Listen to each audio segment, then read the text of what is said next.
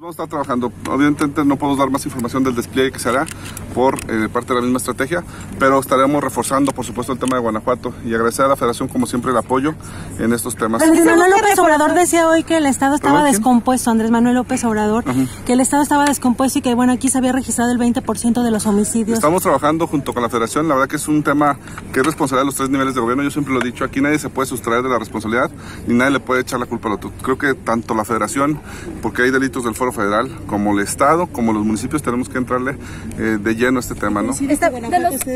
No, no, no. Pues miren nomás este ejemplo. Vean nada más lo que estamos aquí inaugurando. Este, empresarios que siguen confiando. El 6 abre Toyota, la feria a reventar.